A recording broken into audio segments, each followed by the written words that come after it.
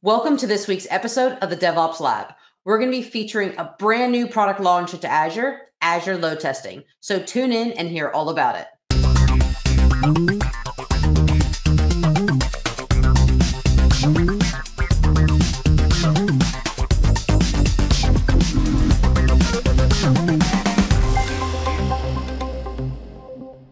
Welcome to this week's episode of the DevOps Lab. We have an awesome episode for you with a brand new feature in Azure. So, first, let's welcome John Stallo. Welcome, John. Hi, April. Thank you for having me on. Great to have you here. I'm really excited to talk about Azure load testing. So, can you take it away and introduce everyone to this brand new feature in Azure that has just been released? Yeah, um, so we're pretty excited. Um, Azure Load Testing is a new service that we just launched public preview just a few months ago. Awesome. Um, and it's really designed to help developers and testers gain confidence in their uh, application's performance, in their ability to meet demand. So needing that confidence um, comes in a few forms. So, you know, the first example would be, you know, leading up to a really important event. Um, it could be like a sales event, tax season, anywhere where like your application really needs to be ready right from the get-go to meet high customer demand or it could actually be much earlier in the application lifecycle it could be when you're proving out your architecture. You might be taking on a new dependency you might be using a azure service that you've never used before and you're really trying to learn how to use it more effectively. Absolutely and i think we see so many use cases in the cloud where we either as a developer, we deploy a new feature to something in Azure and we're using a new service, might be platform as a service or a virtual machine, and we need to know how that application is going to perform and how it's going to scale. And you're exactly right. Especially when people are going to the cloud, they're like, how do I resize this VM? How do I put this into PaaS? How do I transform my application? So I'm really excited to see how Azure load testing works because I think there's so many use cases for it in Azure. Yeah, um, absolutely. Like in, in all those cases, you really just want an easy way to be able to simulate real world traffic. And then, really importantly, you want to be able to learn how your application is behaving under stress. Can I show you how easy it is to get started with Azure load testing? I would absolutely love to see it. Really excited to see it. So, John, take it away, please. Awesome. So, um, I'm right here in the Azure portal, and uh, it's Azure Load Testing is a, is a, is a service where you can just go out and create a, a resource here. And then you can just simply search for Azure Load Testing right here.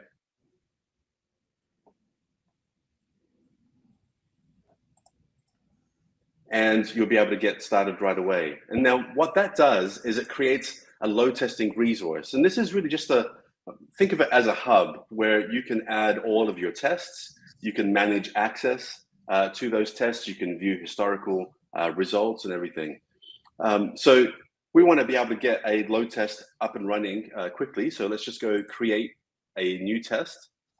I'll give it a name. And then as part of the test plan, I upload a JMeter script that I would um, have um, already developed on my machine. Now, JMeter is a very popular open source uh, load testing framework. It has a really large community. It's very easy to be able to go and get um, uh, help to uh, you know get started with uh, creating a load test. Um, a lot of extensibility built in for you to be able to get extensions that the community has already built. Um, and so now that I've uploaded my JMeter script, really that's all that I need. But I just want to okay. show you one more thing. Um, te- Azure load testing makes it really easy to be able to scale out and achieve really high uh, traffic. And so um, that is as easy as you just being able to uh, scale out um, your engine instances all the way from you know one to many, and we'll take care of all the heavy lifting of the infrastructure required uh, to be able to uh, run high traffic load. And with that, I'm going to go ahead and just uh, go and create that load test. And what that does is that is now getting things ready in the uh, service. You can see over here, it's actually provisioning those load test engines that I requested. And we will see the load test begin very shortly. And then what we can see is the load test has actually started executing. Um, and so down below here, I can see a few things already. So um, you know, there's a few metrics that I get in real time as the load test is actually running. So here on the left-hand side, you can see that um, my load test is slowly ramping up uh, mm-hmm. to be able to simulate more virtual users that would be running my application at the same time. And as that is ramping up, I can see you know what my response time looks like across mm-hmm. different types of requests uh, that uh, are being simulated. And you can see that I had a bit of a cold start there, uh, but then it's kind of settled down into like pretty comfortable territory in terms of uh, you know response time. Okay. Um, and I also you know see requests. I get to see you know any errors that actually um, might uh, you know that my application might be experiencing.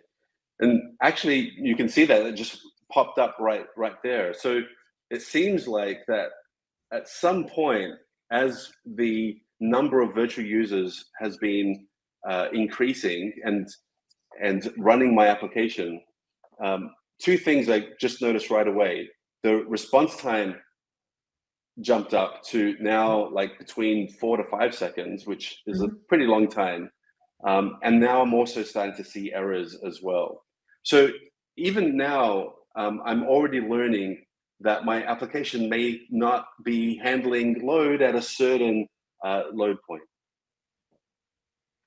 Absolutely. And this is great to see because I think so many times we deploy something and we struggle to see how something's correlated in our applications, right? Or we have to use real time data. And, and a lot of times we try to emulate traffic, but this is awesome to see to get that correlation right there. And I assume we could upload another JMeter configuration file that will allow us to get a different usage pattern potentially on our application as well. Yeah, that, that's absolutely right. So there's a lot of things you could do with JMeter. And so this whole thing of like, um, you know, ramping up um, and then sustaining some peak was really just in my JMeter script. And I mm-hmm. can do all sorts of patterns like, um, you know, maintain a certain uh, load and all of a sudden spike up um, and really understand how does my application behave um, under those you know, fluctuations of, of traffic. Now, at, at any time during the load test, um, I can stop this right away, mm-hmm. Um, just in case things are going horribly wrong. Um, you know, you, have got total control um, over what happens. Um, at, at, this point, my load test has actually ended here. Um, and uh, one of the, the next things I'd like to show is how Azure load testing helps you understand how your application actually behaved. We already know that at some point uh, of, uh, of, of, of load that my response time, I'm seeing some errors creep in. But mm-hmm. what I know about my application is that there's a web app or an API that is taking in these requests, and then it's actually making some calls to a backend service. And there's all sorts of questions that I would have at this time of, you know, which of these application components is actually, um, you know, under stress and, and causing this kind of uh, behavior. So one of the things that is down below here is what we call server-side metrics. Um, and so if I click on this configure app components, what I see here is just the ability to be able to go and uh, search across uh, subscriptions, uh, resource groups.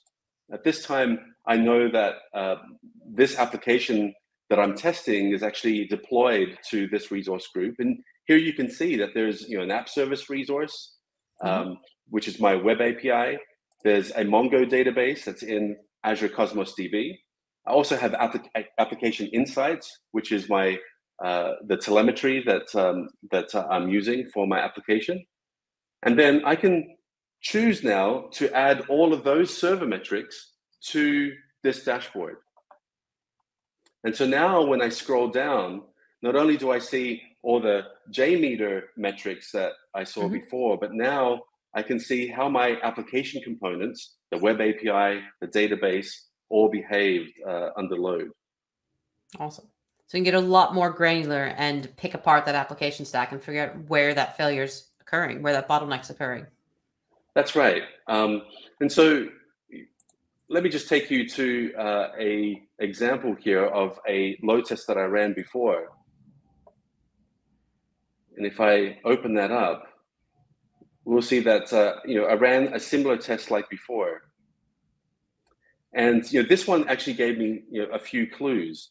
So in terms of my uh, web API, I can see that uh, the CPU and memory were doing okay. I started to see some uh, some uh, CPU spikes starting to appear later on, mm-hmm. Uh, but that might not fully account for the the issues that I was seeing.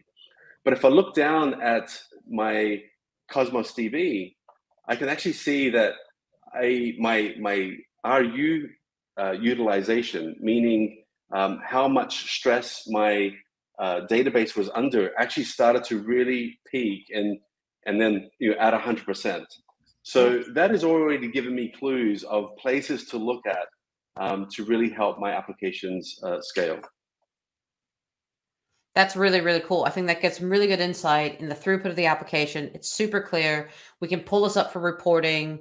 We can leverage this further when we're building our apps, when we're building new stuff. But we can all, I assume we can pull out some reports as well and hand that over to anyone in the organization that needs proof that our application's not doing what it's supposed Absolutely. to do. Absolutely. Yeah, you can you can share these reports. You can compare uh, a load test that you ran, you know, last night to you know what it what it looked like a week ago or two weeks ago before you began a sprint. Um, so all of those ways of comparing um, uh, important metrics um, really tell you a lot about what's changing in uh, your application and your ability to be able to meet that uh, that uh, that that demand. And testing is so critical when we're developing our applications, and it's something that we a lot of times forget or bypass because it's sometimes hard to do or hard to implement. This looks really easy. Now, I want to take this a step further. Can we integrate this into a CI CD pipeline?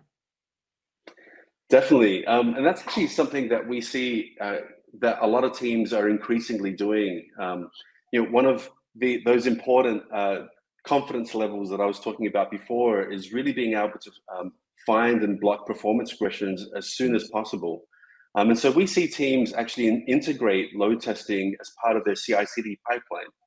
And so with Azure load testing, you can uh, add um, uh, load tests or you can trigger load tests from uh, GitHub Actions from Azure pipelines, so that you can you know run it say at the end of a sprint or before uh, or as code is deployed to say a staging environment.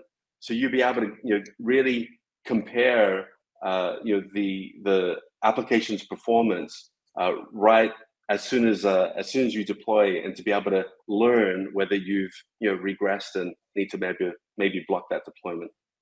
Awesome. John, I love this. Really excited to see this come out as a product. It's something that our customers have asked for. We talk about testing as being such a critical part of not only the DevOps process, but part of the cloud process, right? So thank you so much for showing this to us today. Really appreciate you being here, John. So thank you. Thank you, April. Take care. Awesome.